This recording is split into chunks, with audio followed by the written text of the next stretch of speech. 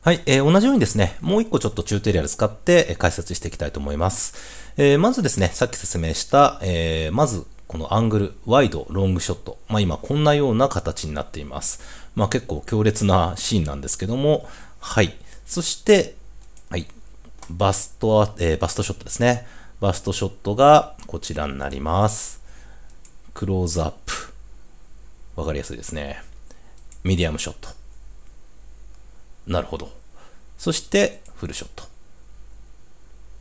はい。そして、ロングショットとワイドは同じですね。さっき見たやつです。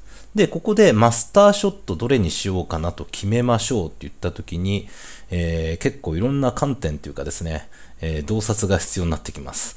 えー、こんなアングルなんかどうかなっていうので、ズバリ、マスターショットはこれだっていうんで、監視カメラを置いちゃいました。ああ、これ監視カメラで監視されてるんだなっていうのがマスターショット。